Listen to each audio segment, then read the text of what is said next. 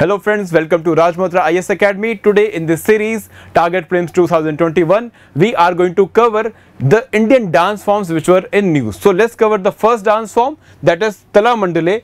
Tala Mandale is a dance form popular uh, in Karnataka and Kerala region and it is basically a variant. It is a variant of a other uh, form of theatre that is called Yakshagana. That is called Yakshagana. So Yakshagana is basically a theatre form, but theatre art form, but uh, the Talamandale is uh, is associated with this with it as a uh, dance form. Now uh, let's talk about few factual points which uh, which may be asked in your prelims that is regarding the region.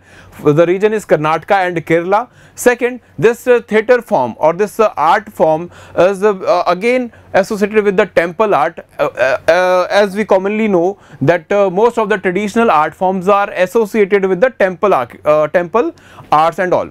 So because most of the whether you talk about music whether you talk about dance they are they have their origin or they have their association with the temple art. So now again here they have association with the temple art and uh, uh, so therefore the uh, depiction or the themes which they take is again mythological. So mythological stories are the uh, theme of these dance form plus theatre form both.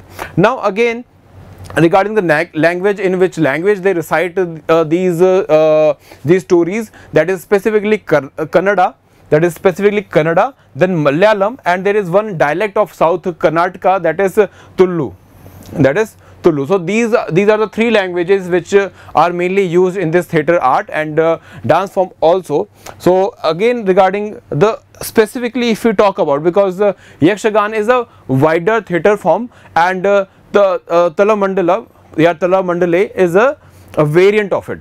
So as a variant ये इसका variant है. So let's talk about कि इसमें तला मंडले में और यक्षगान में what are the similarities and dissimilarities so as I told you that regarding the similarities they are perform together and regarding the differentiation और dissimilarities it is more of more of a dance form and otherwise traditionally, if you talk about Tala Mandale, traditionally the Tala Mandale is a uh, is a is a theater form where the artists sit on on a place and they just uh, perform there or just uh, just perform uh, or present their uh, skill through uh, oratory or a singing form. So that is the one thing.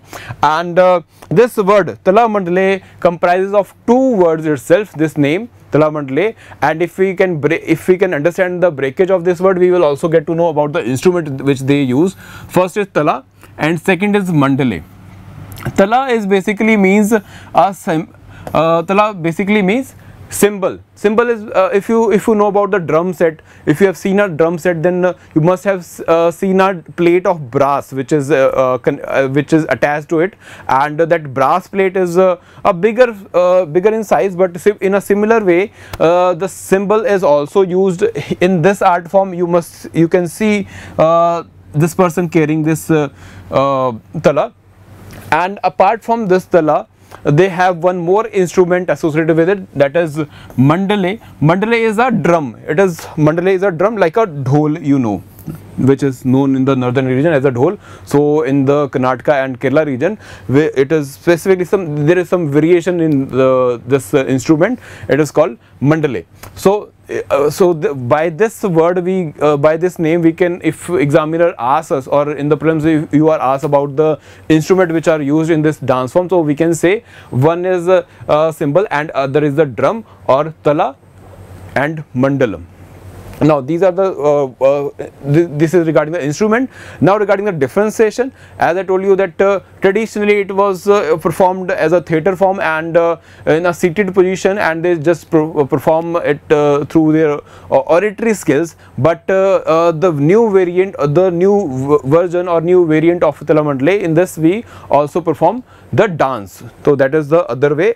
And here uh, uh, in the traditional way or in the yakshagan the thing is that only the words only words are spoken without any dance or the co costume. So in traditional way there is no dance or costumes. But uh, otherwise in this art form we can see they use good they use uh, they have good use of costumes also. You can see the headgears the, the, the very beautiful headgears you can see here and each character has different headgear uh, to present.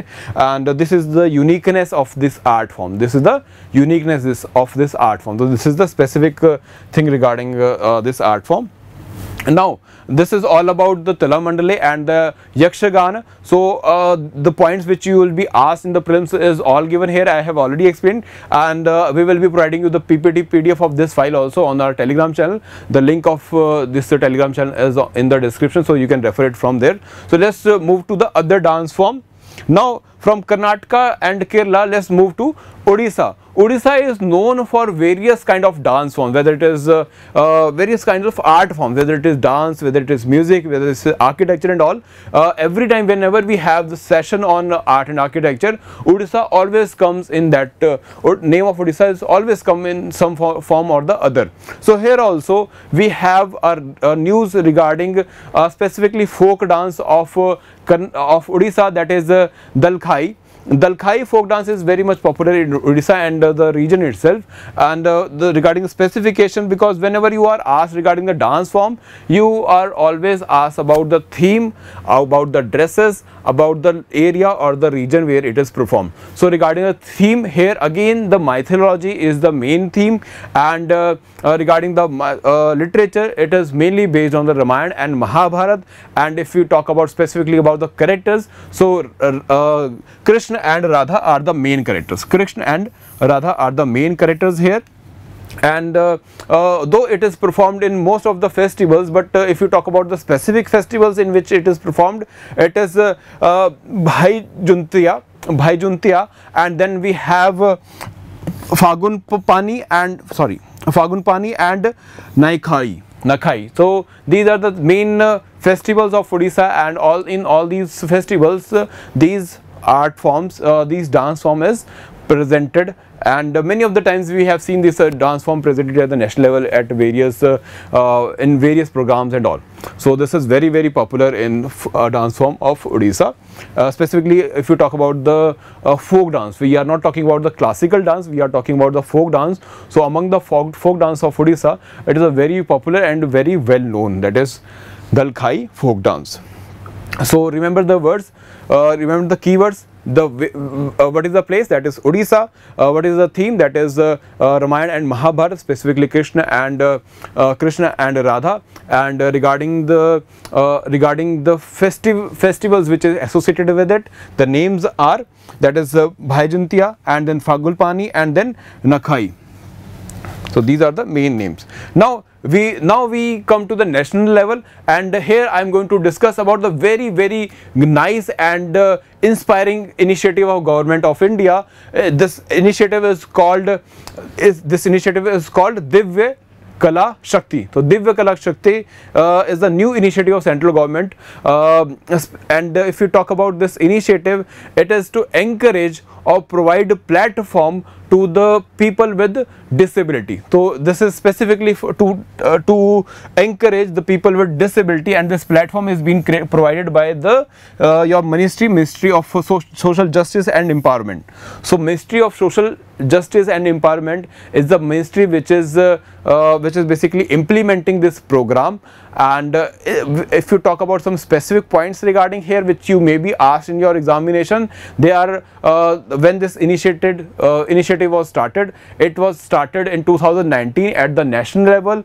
It the first performance was done in the Rashtrapati Bhavan itself and uh, that was the national program. Now last year in 2020 in 2020 we saw the regional uh, programs, regional event uh, associated with the Divya Kala Shakti that was held in Chennai, that was held in Chennai, Tamil Nadu. And uh, uh through this initiative, through this uh, uh, platform, the government of India wants the, to encourage these people uh, which has which may uh, we which we which we may perceive that they do they have some kind of disability but they are differently abled. So it is to showcase their ability specifically and the motto of this uh, uh this event or this uh, uh, whole program is the witnessing the ability in the disability. So this motto can also be asked in the examination. So you should remember that also. What is the motto? Witnessing disability in the witnessing ability in the disability. So this is the motto of the program. So this is a very nice initiative of government of India and it will definitely give boost to the uh, various art forms because government is providing this art uh, platform to promote art forms like your uh, performing arts, music, dance and aerobatics also. So these are the main dance form which government of India want to promote through uh, this platform. So this is all for today. We'll come up with the new topics next week. Thank you so much.